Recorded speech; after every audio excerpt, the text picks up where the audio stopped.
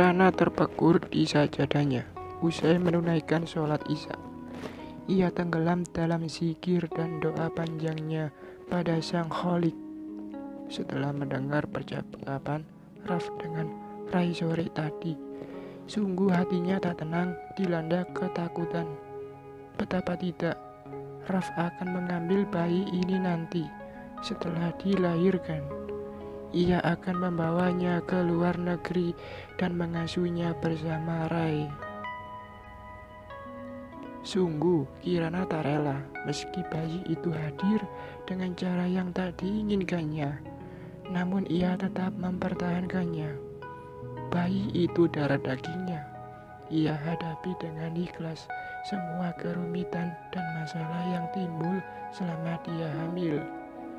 Ia rela meninggalkan Arkatama, belahan jiwanya demi masa depan bayi yang dikandungnya. Ia bertengkar dengan Teh Elis di Karawang dulu karena wanita itu ingin mengadopsi bayi yang belum dilahirkannya itu. Bayi ini telah bersama dengannya menghadapi badai kehidupan selama ini. Tak seorang pun yang bisa memisahkannya dengan bayinya itu. Meski Raf adalah ayah kandungnya, Kirana tak akan memberikan anaknya pada Raf nanti. Akan bagaimana perilaku anaknya nanti bila diasuh oleh seorang ayah laki-laki dan ibu juga laki-laki. Apalagi prediksi dokter sesuai hasil USG. Anaknya juga laki-laki. Nauzubillahi min zalik. Kirana betul-betul merasa takut. Ia takut kalau sudah melahirkan nanti saat ia belum pulih, Raf sudah membawa kabur anaknya. Bahkan mungkin sebelum ia sempat melihat wajah anaknya, anak itu sudah dibawa Raf ke luar negeri bersama Rai. Ya Tuhan, aku tak mau kehilangan anakku. Kirana mengusap perutnya seperti mengerti ada usapan dari ibunya. Bayi itu bergerak merespon ibunya. Kirana teringat ucapan ibu mertuanya sebelum ia menikah dulu bahwa kehamilan Kirana adalah anugerah tak terhingga bagi keluarga mereka. Mungkin akan menjadi satu-satunya keturunan Raf, membuat Kirana semakin merinding ketakutan.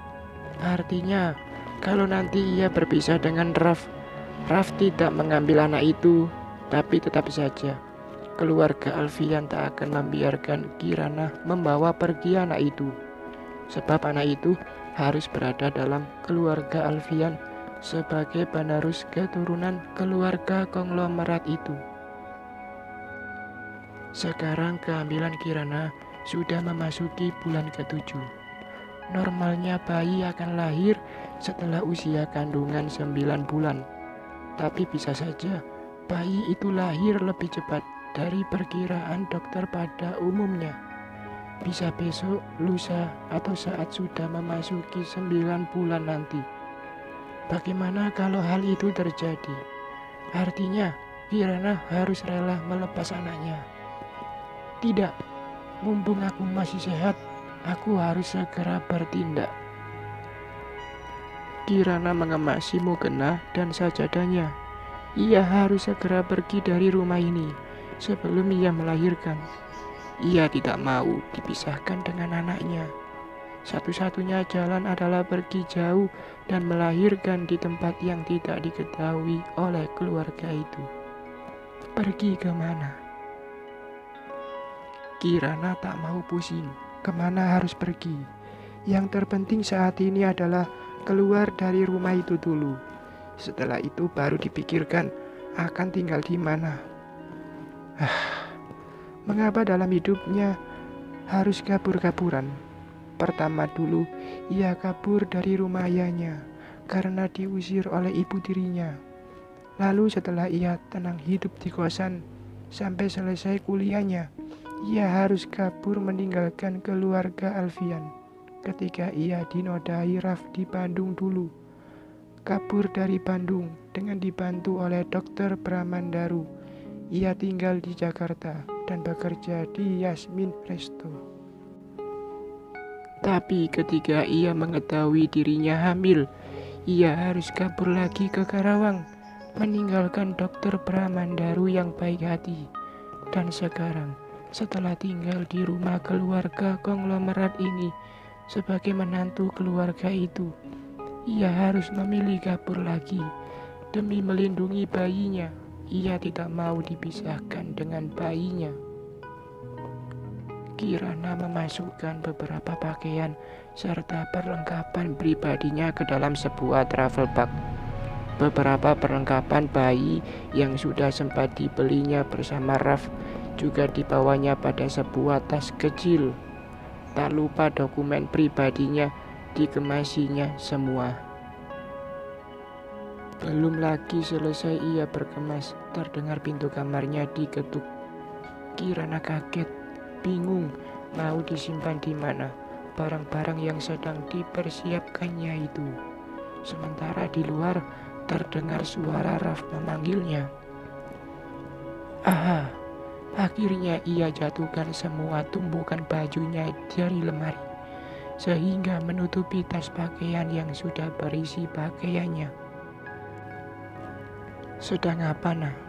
Raf melongok ke dalam ketika Kirana membuka pintu. Sedang beberes, tadi pakaian di lemari tumpah ketika aku mau mengambil baju tidur. Ada apa Raf? Nggak ada apa-apa. Pingin melihat kamu saja. Mari ku bantu merapikan pakaianmu. Raf segera mendekati tumpukan pakaian itu. Nggak usah Raf, aku sudah ngantuk. Besok aku minta tolong Bik Narti saja. Keluarlah, aku mau tidur. Untungnya Raf menurut ketika disuruh keluar oleh Kirana. Bergegas Kirana mengunci pintu dan merapikan kembali pakaian yang ditumpahkannya tadi itu. Haruskah ia kabur malam ini? Kirana duduk sambil menimbang-nimbang. Tidak, Kirana harus bersabar sampai besok pagi.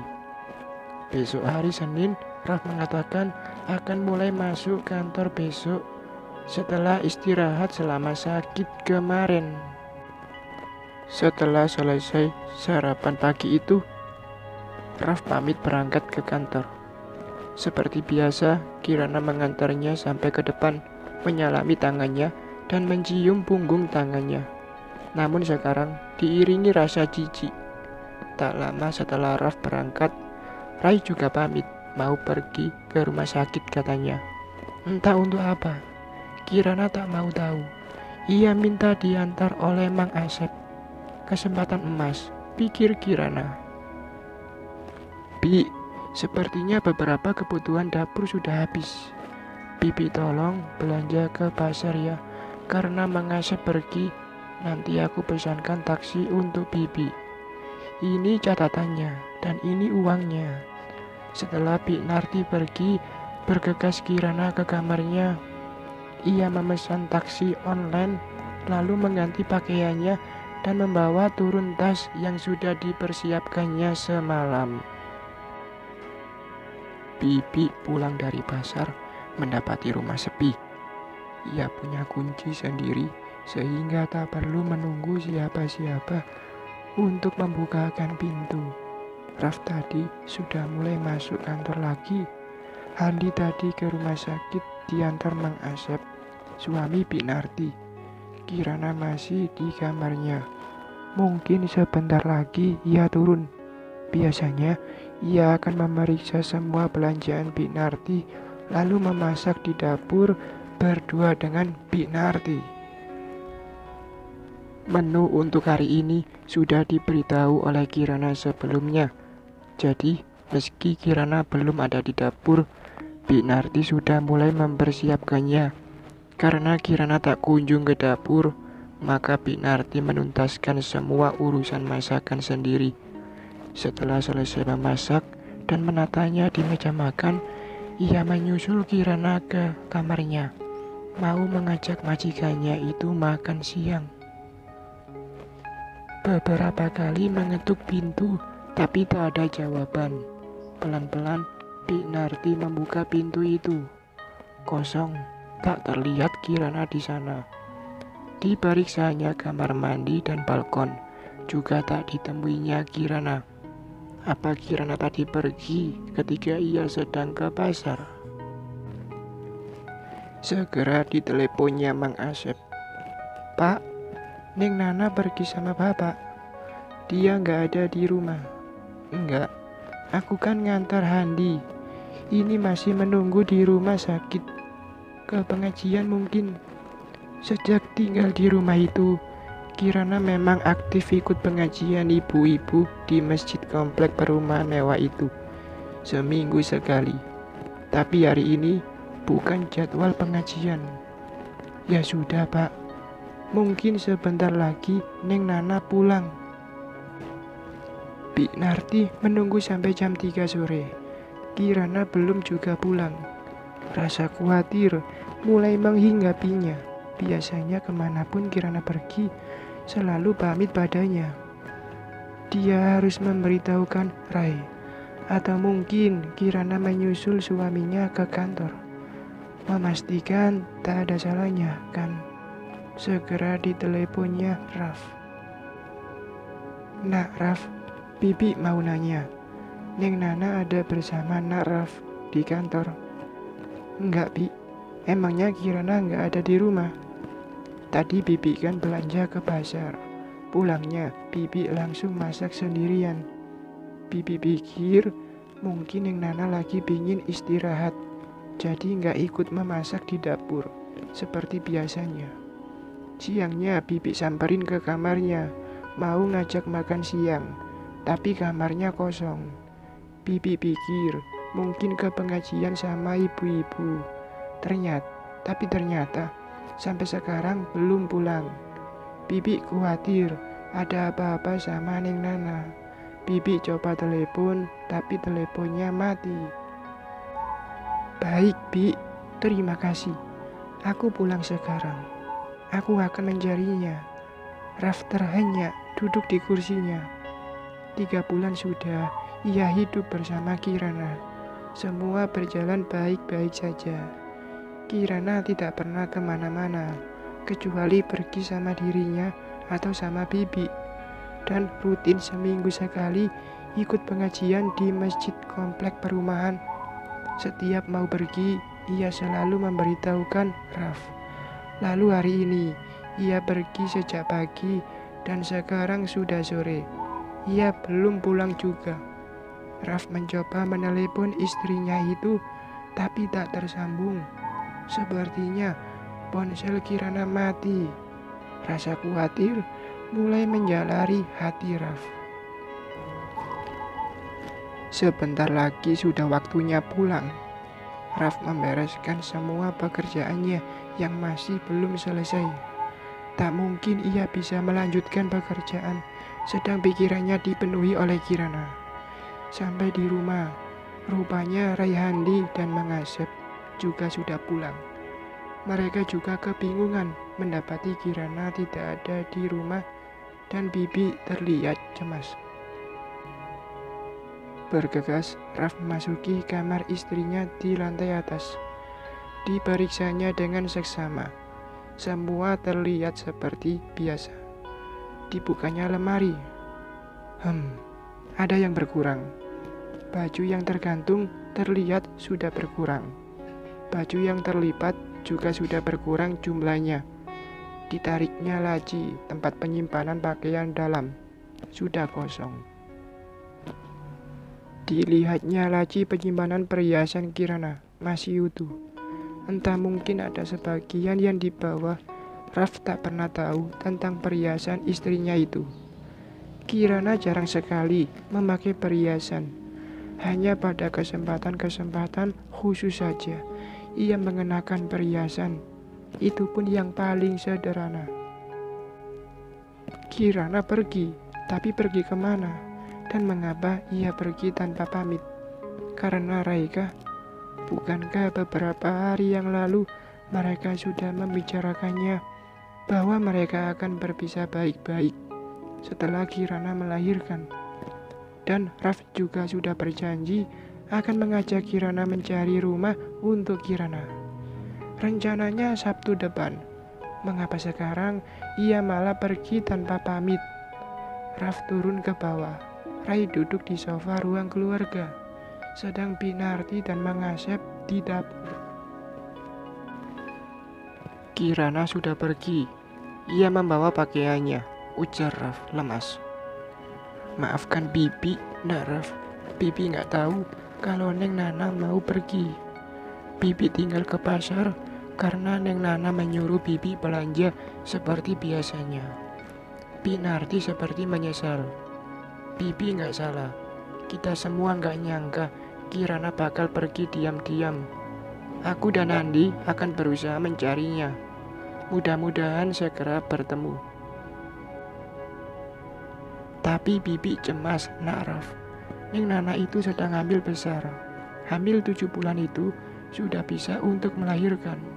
Bagaimana kalau tiba-tiba ia melahirkan? Siapa yang akan menolongnya? Bibi mengusap pipinya yang basah.